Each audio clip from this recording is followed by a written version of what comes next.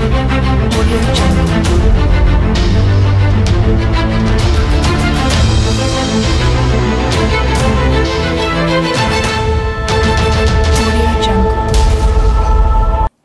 République a besoin de jeunes, la République a besoin de gens déterminés pour faire changer les choses.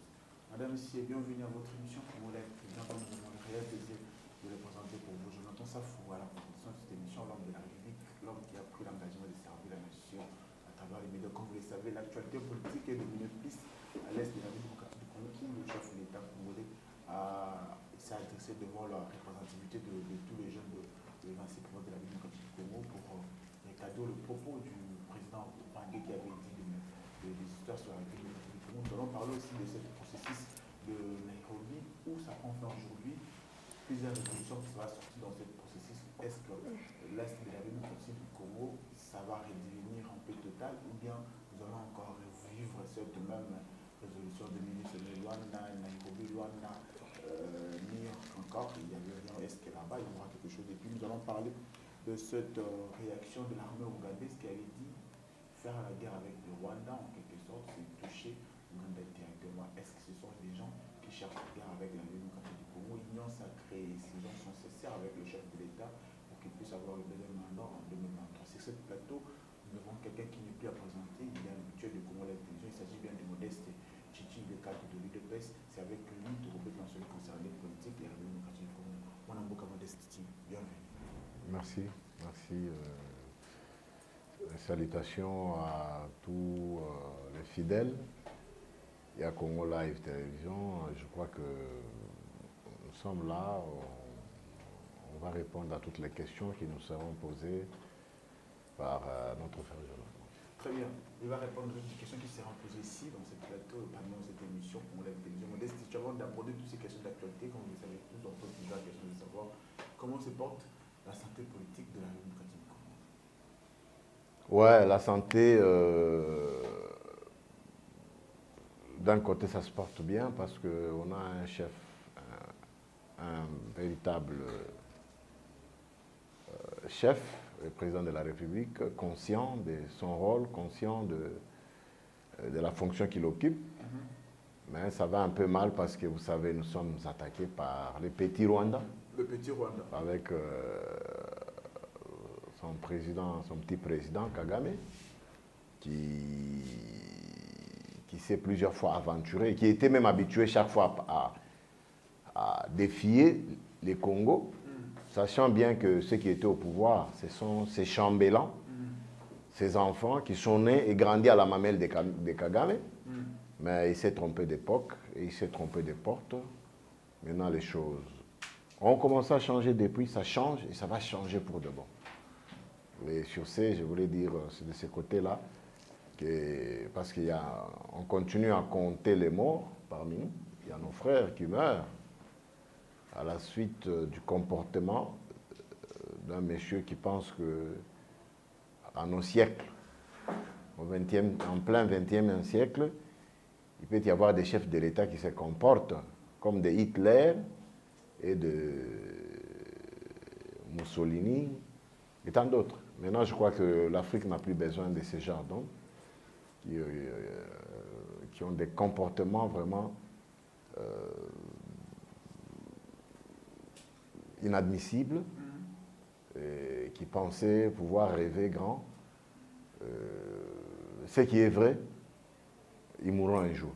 Ce qui est vrai, ils mourront un jour. Là, ce sont les propos de Modeste Chichi. Avant de, de, de- d'entrer vraiment de, notre, de, de- de nos sujets ou bien de nos thématiques qu'on va parler aujourd'hui, euh, le président rwandais, il a eu euh, à s'adresser devant la nation dans les deux chambres du Rwanda. Il a cité le nom de, ce- de, de- de la République démocratique du Congo plus de cinq fois et celui de, du président Tshisekedi plus de cinq fois aussi. C'est pour une première que ça se fait depuis que le Rwanda est là.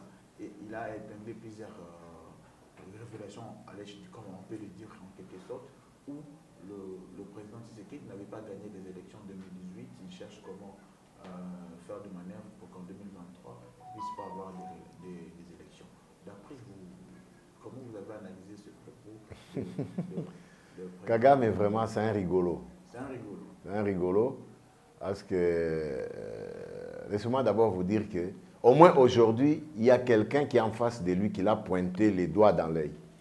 C'est Fachi Béton.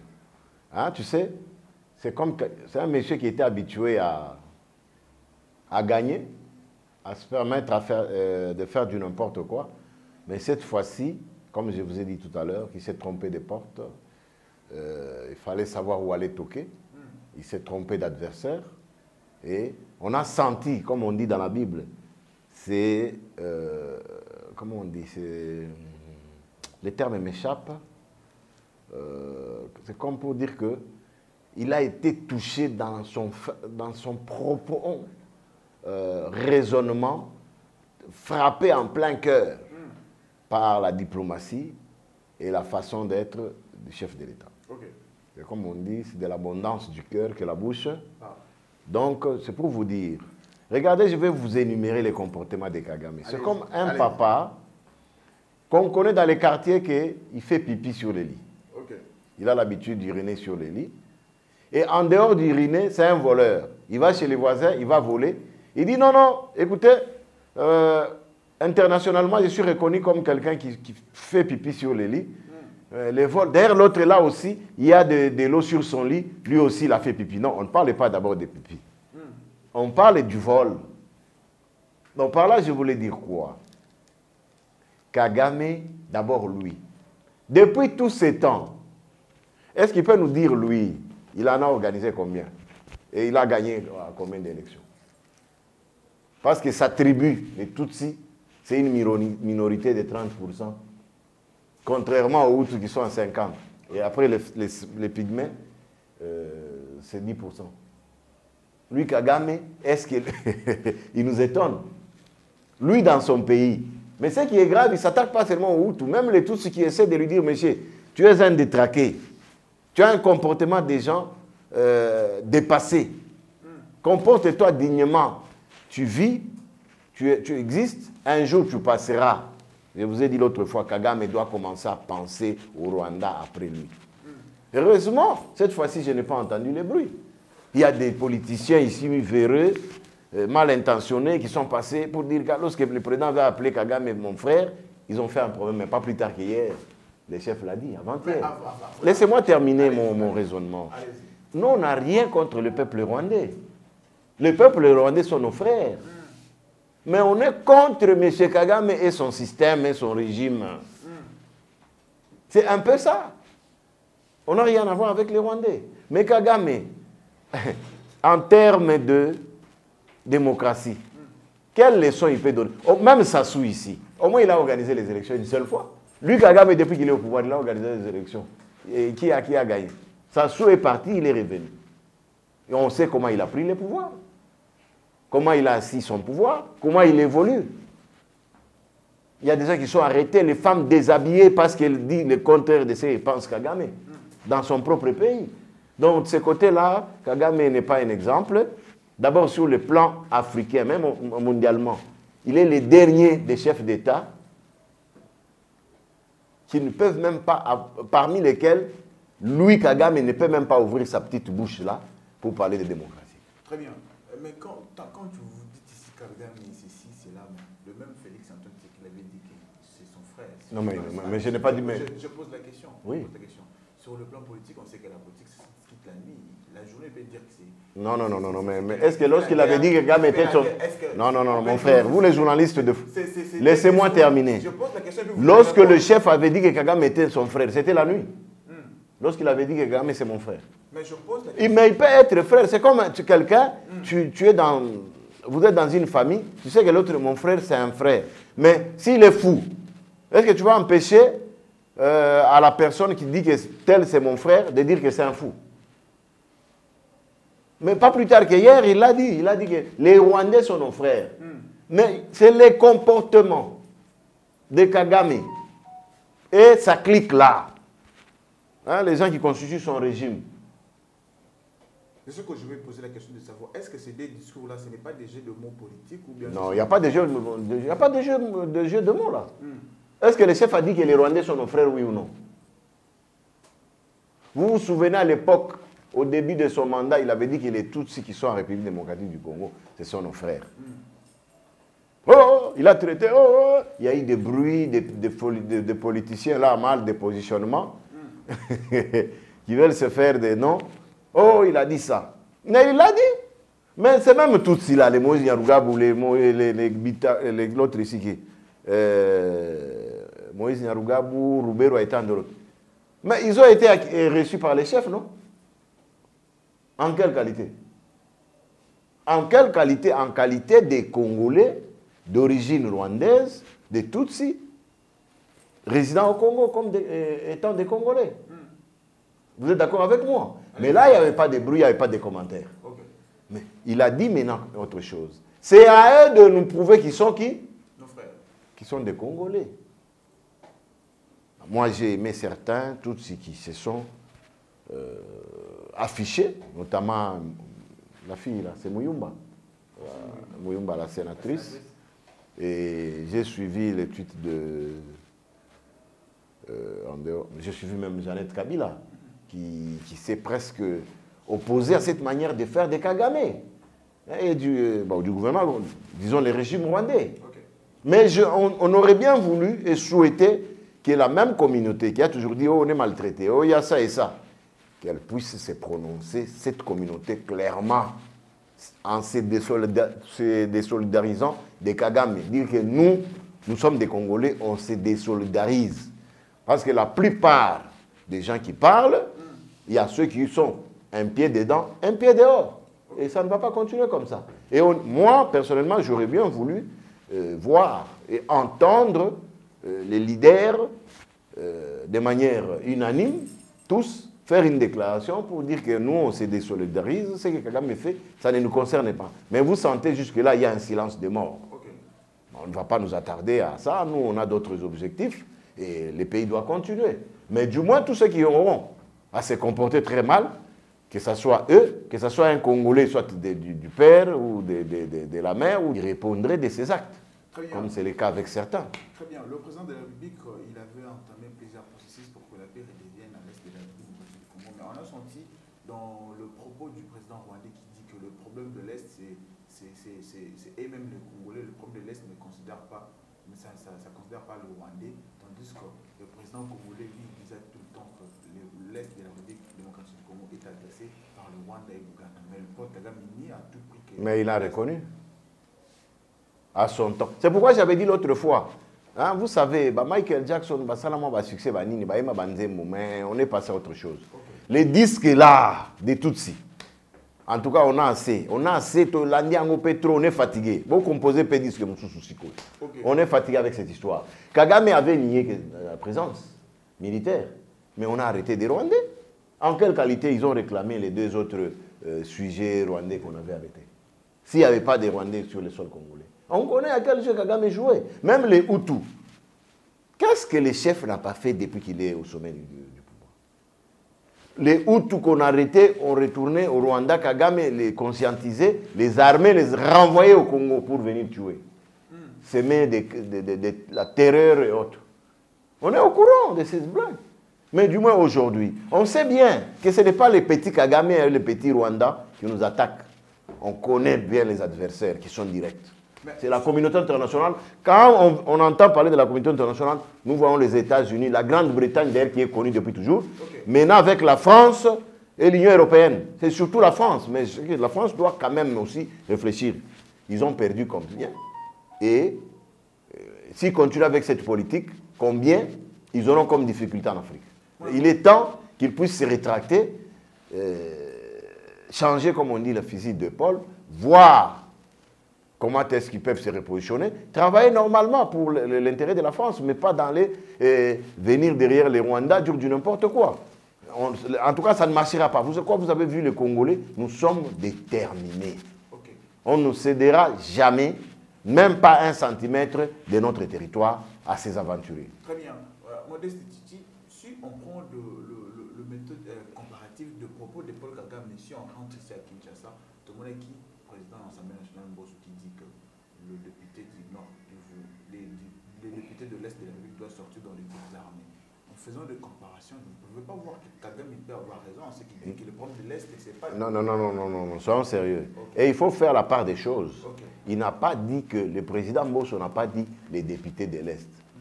Il a fait allusion à quelques députés de l'Est et, euh, et d'autres qui se disent de l'Est. Vous comprenez? Ah, Ils sont un pied dedans. Donc c'est comme tu habites au Congo, mais ton cœur est au Rwanda. Et ils sont connus, bien identifiés. On connaît. Il n'a pas dit tous les députés de l'Est, parce qu'il y a des députés de l'Est qui sont vraiment de, de- de- de- de- de- euh, consensueux et ils, euh, ils ne veulent pas de cette guerre, nous imposée par, par les petits Rwandais. Et lorsque le président Mbosso avait parlé, il s'est adressé à ces gens-là. Et que vous connaissez, d'autres, on ne peut pas citer leur nom. Ça n'a rien à voir. Mais Kagame, mais on s'est reconnu maintenant, c'est noir sur blanc. Vous avez suivi, même j'ai suivi une dame rwandaise qui est opposante, une rwandaise, qui a dit que Kagame a nié que les, les- les- les- les militaires rwandais ne sont pas sur le sol congolais. Mais maintenant, toutes ces nuits ici, hein, le Rwanda est devenu un cimetière ou bien une morgue. Parce qu'on fait traverser les gens qui ont été euh, bombardés par euh, nos avions. C'est connu, il y a eu même des images. Mais est-ce que, mais que les Rwandais nous disent aujourd'hui qu'ils ne sont plus au Congo. Vous les avez entendus dire ça? À son temps, ils le disaient parce qu'il y a des gens, un groupe de gens qu'ils ont amenés ici, qui sont venus. hein. On a fait deux de, de- de- de chefs et ils ont facilité des choses. Il n'y a pas de secret pour ça. Vous connaissez, il y a un monsieur comme Tambo Mwamba. Tambo Mwamba est devenu président du Sénat comment? C'est parce qu'il a signé des, o- des- des accords obscurs. Quelqu'un qui n'a même pas deux députés, mais il est devenu président de du, du Sénat comment?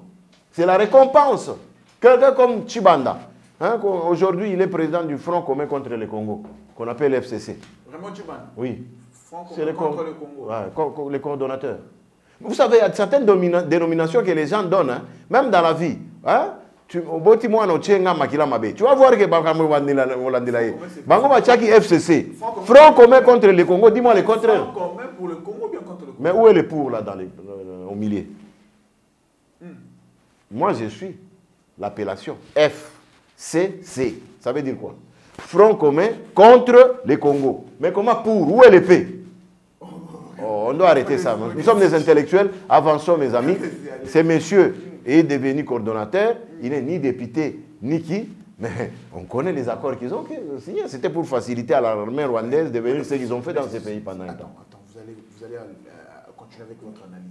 Euh, donc ici, vous êtes en train d'affirmer, bien de dire que si aujourd'hui le Congo est en train de souffrir dans ces parties-là, Est, entre autres, c'est dit aux accords signés par Alexis Tamamamba. Et Non, ça, ça fait suite. Mais l'histoire a commencé depuis lorsque nous avons accepté d'ouvrir euh, nos barrières. Euh, Lorsqu'il y a eu euh, euh, c'est quoi, le génocide là, rwandais, vous voyez, lorsqu'il y a eu cela, et la communauté internationale nous a demandé à l'époque de M. Mobutu, de- du président Mobutu, de- d'ouvrir. et sur le plan humanitaire, ça n'a pas posé de problème, ce n'était pas un problème. Mais c'est à l'entrée de ça qu'il y a eu un prétexte, et c'est de là qu'est venu Kagame. Hmm? Et Kagame, lorsque l'AFDL est entré, ils ont tué beaucoup de Hutus. Hein? On connaît. Moi, je connais quelqu'un qui m'a dit, qui a, pour avoir été avec eux, tous les crânes que vous voyez là, on dit au génocide, c'est les Hutus la plupart. Il y a des Hutus qu'on tuait, on a exposé ça. Brandi pour dire que voilà les Tutsis qu'on a tués. Mais on n'est pas là, ce n'est pas notre problème. Mais les Rwandais et l'Ougandais ne nous font pas peur. Sachez ça. Ils ne nous font pas peur. D'ailleurs, je vais anticiper parce qu'à un moment, vous devez, vous, je crois, je crois, vous, je vous ai entendu parler de l'enfant de Museveni qui a dit que si on attaque les Rwandais, euh, écoutez, nous on s'en fout. Vous comprenez? Ils, ont, ils sont là. On est condamnés à vivre ensemble parce que c'est le destin de Dieu. Est-ce que vous pensez que si le- l'Ouganda et le Rwanda se réunissaient pour faire la guerre entre la Mais ils ont, ils ont toujours été ensemble. Ils se sont battus euh, euh, il y a combien Euh, Deux armées étrangères se sont battues à Kisangani. Vous êtes au courant ou pas? Vous êtes journaliste, non? Mais aujourd'hui, là, qui ont facilité l'entrée des militaires rwandais du côté de Bunagana C'est l'Ouganda. Vous pensez qu'on on est des- on n'est pas des dupes On connaît. Mais nous déclarons, nous sommes dans nos droits. Nous, on- n'a pas besoin de ces deux pays-là. On n'a pas besoin. C'est eux qui viennent vers nous. Avec ou sans eux, nous, nous allons vivre. Mais eux, sans nous, ils ne peuvent pas survivre. Vous comprenez? Non, le président- le- Donc, euh, nous, pourquoi est-ce que sur le 11, 9 pays qui nous entourent, il n'y a que à la, deux, ces deux pays-là à la tête? Avec les le- L'Ouganda et le, Rwanda. Mais tous les autres pays ici, pourquoi eux ne nous agressent pas? Posez-vous la question. Les Rwandais, au Rwanda, il n'y a même pas un kilo de coltan. Mais le Rwanda est devenu meilleur producteur de coltan. Est-ce que vous pouvez nous expliquer? Non, écoutez, ce temps-là est révolu. Et je pense que Kagame doit réfléchir trois fois maintenant avant de mettre ces, strat- ces stratégies-là en marche.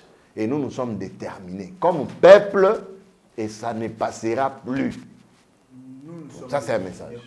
La preuve, vous avez vu, l'Église catholique, la Senco hier, a demandé à la population de marcher.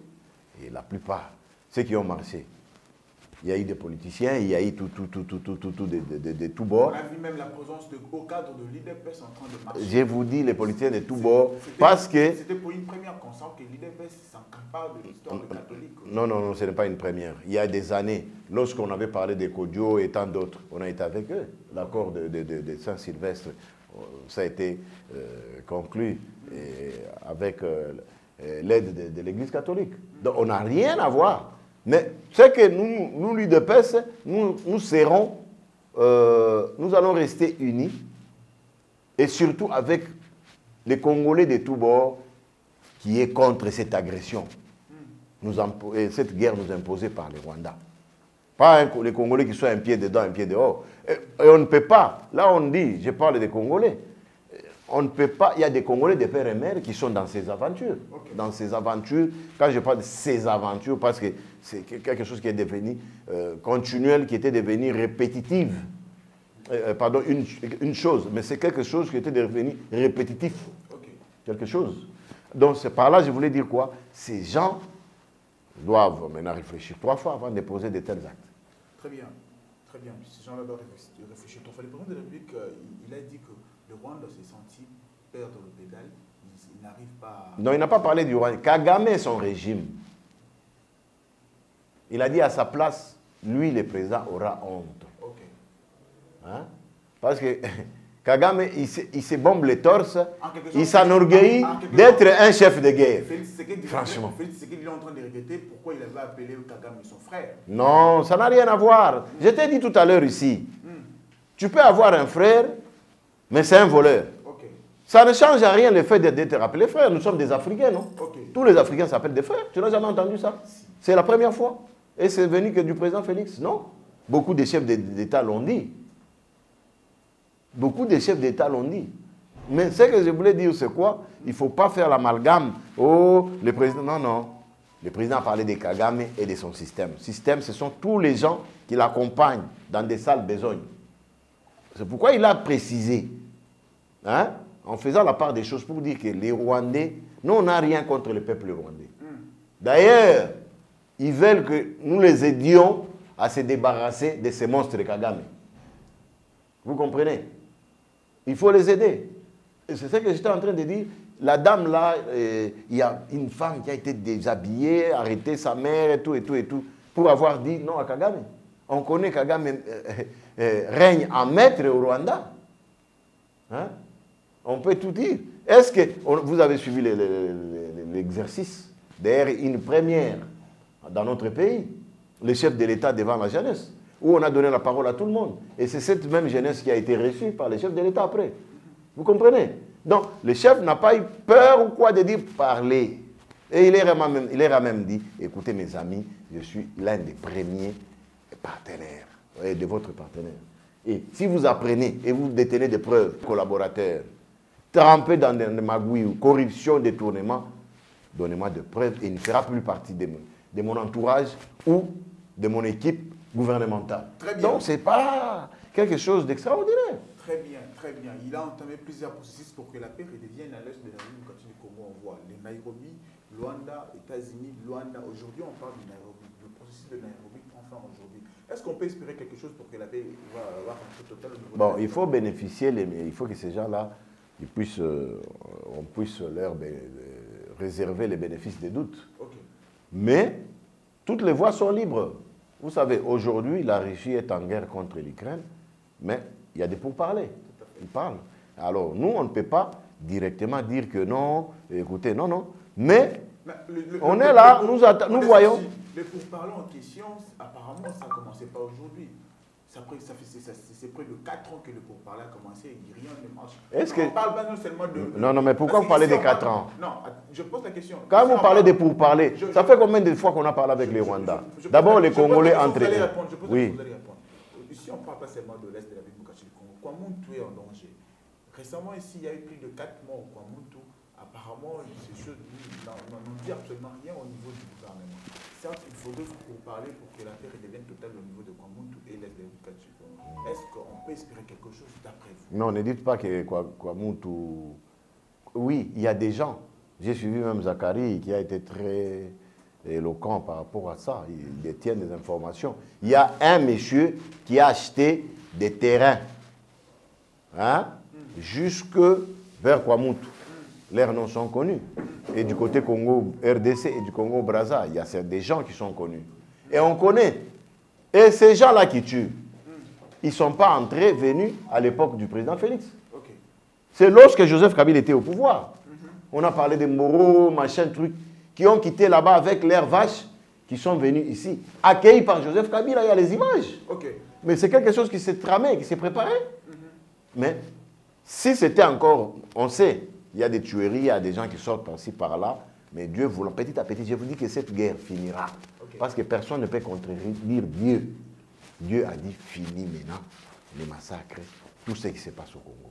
Je crois que vous avez suivi, il y a un blanc qui a dit à l'époque, parce que moi je, je suis journaliste de formation, quand même je suis devenu politique, mais je peux vous dire que j'avais interviewé un papa de 104 ans avant les élections, que Dieu a envoyé, et ce papa a dit, j'avais dit à Mouzé, tu deviendras président, mais tu ne vas jamais durer. Mais Dieu m'envoie à Lumumbashi, bon, du moins nous qui avons eu le temps d'a- d'aller là-bas, il y a la rivière Luapula. D'ailleurs, c'est- je crois que c'est par là que commence le fleuve. on connaît. Ce papa est parti, Dieu l'a envoyé jusque-là pour aller prier, mettre fin à tous les différents chefs d'État qui ont mis leur gris-gris, machin, truc dans le fleuve. Et il a dit que les élections qui se tiendront, vous n'entendrez aucune balle trépiter ou aucun bruit. Et effectivement, lorsque, admettons, euh, notre frère Fayoulou, parce que maintenant on n'est plus dans ces temps de, de parler, frère il a brandi, mais c'est notre frère. Si on peut parler de Kagame comme frère, Fayoulou c'est notre frère, surtout qu'il est Donc, con. vous avez tenu votre divergence politique et... Non, ça n'a rien à voir, mon frère. Il faut faire la part des choses. On peut être des frères, des pères et mères, mais on ne s'entend pas. Vous n'avez jamais entendu ça? Si on les voit avec la famille Bemba. Non, pas toujours même ma référence.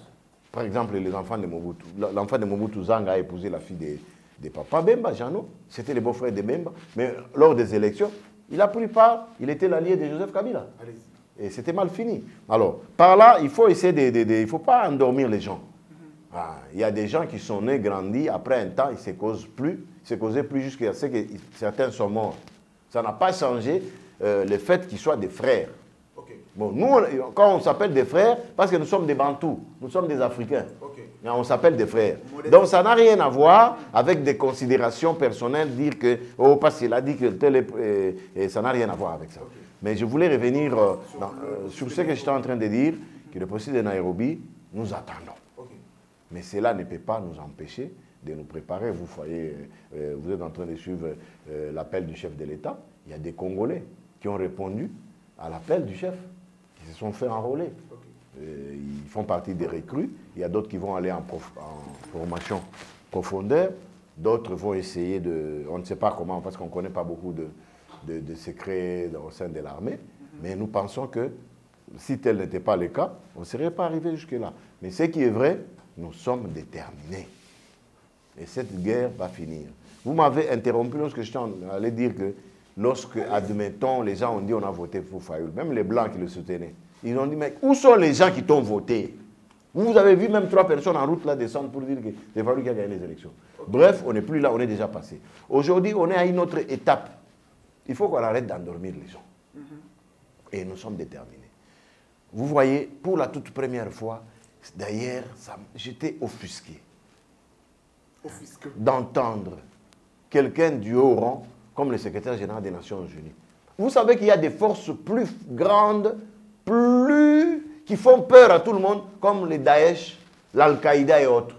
Mais depuis, je n'ai entendu aucun secrétaire général dire que eh, Al-Qaïda et autres, ils ont des armes sophistiquées, c'est une armée bien formée, non? Mais on nous a brandi les M23 pour vous dire que, revenir sur ce que je vous ai dit, c'est une guerre nous imposée par les États-Unis, l'Union européenne avec la France à sa tête. Mais pour la première fois, nous avons entendu un secrétaire général dire que les M23, c'est- c'est une armée bien formée, et ils ont des armes sophistiquées. Mais ce sont ces armes sophistiquées-là que nous avons arrachées. Vous, vous êtes au courant? Les armes que nous avons prises là, ce sont les armes sophistiquées. Bon, maintenant nous détenons ces armes sophistiquées qui nous disent que les M23, dont ils ont fait allusion pour dire que c'était une armée bien formée avec des armes sophistiquées, que nous avons frappées et arraché certaines armes. Très bien. Bref, c'est pour vous dire que aujourd'hui, sous embargo, on a suivi euh, les messieurs là, un autre des Nations Unies, dire non, l'embargo c'était Quelle aberration intellectuelle.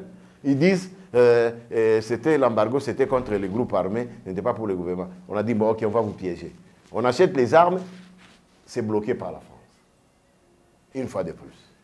Mais il doit savoir, même sans armes, si on se décide, nous Congolais, le fait que nous sommes, je ne sais pas, cinq fois plus nombreux que les, les- les Rwandais, même sans armes, nous allons. Qu'ils nous provoquent, qu'ils continuent à nous provoquer, mais nous disons, comme j'ai toujours dit, je demande à Kagame de s'intérioriser, de penser au Rwanda après lui. Très bien. Il ne faut pas qu'il laisse les Rwandais dans l'amertume. C'est comme un papa dans, dans les quartiers. Il est habitué à un sorcier qui bouffe les enfants d'autrui. Mais les jours que ce papa-là mourra, même on risque même d'attribuer cette sorcellerie, même aux enfants innocents. C'est pourquoi il doit réfléchir maintenant et changer de stratégie. Très bien. On n'a pas besoin de cette guerre, on n'a pas besoin de guerre, mais si les Rwandais continuent dans cette aventure, eh bien, on ne doit pas se laisser faire. Très bien, Modeste. Nous sommes arrivés à la fin de notre émission. Plus de 141 000 abonnés étaient en train de suivre cette émission. Quel message vous voulez donner à cette population Euh, oui, d'abord euh, à nos membres de l'UDPS que nous sommes. Je crois que vous avez vu depuis un certain temps, il y avait un monsieur, euh, l'envoyé du diable, on ne peut plus, c'est quelque chose de dépassé, qui est venu avec mission de détruire notre parti. Où vous avez vu les gens comme les Jacquemin Chaban, ils ne mettaient plus pied à la permanence. Les Peter Kazadi, aujourd'hui, voyagent avec les CG. Donc, au sein de, de- de notre parti à l'interne, nous sommes en train de nous organiser. On disait aux gens, préparez-vous, on va aller aux élections. Et l'autre fois, je crois, il y a quatre émissions passées, je disais, c'est comme JB10 dit- a l'habitude de dire, en face, il n'y a rien, c'est maïs. On vous disait qu'il n'y a rien. Il n'y a pas d'opposant. Et je vous avais dit que dans peu de temps, vous allez entendre certains vont traverser. Lisanga Bonga Ewa Nakatisi. Vous avez vu, a commis haut, a créé plateforme, il y a un séquediste. Bon, on n'est pas là, on connaît. Ne soyez pas étonnés de voir. Même je connais, j'ai un ami euh, envers qui j'ai beaucoup de, de- de- du respect et considération, Yves Bouya, un garçon intelligent, parce qu'on a commencé à débattre avec lui depuis très, long- très longtemps, des années. Lui, au moins, il peut garder sa ligne. Mais il y a certaines personnes qui sont derrière Faoulou, ils savent qu'ils sont derrière lui, c'est pour ce qu'ils peuvent être des députés autres. Quand bien même vous avez suivi, j'ai suivi les sondages à Télé 50.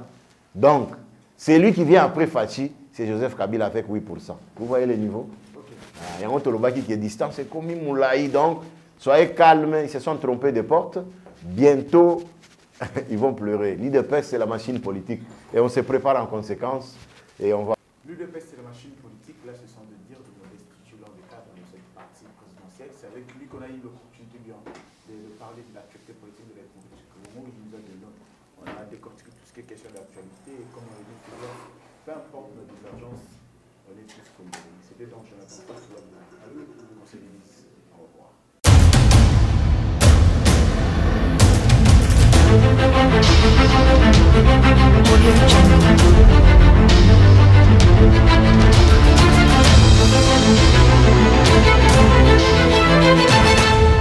Thank you.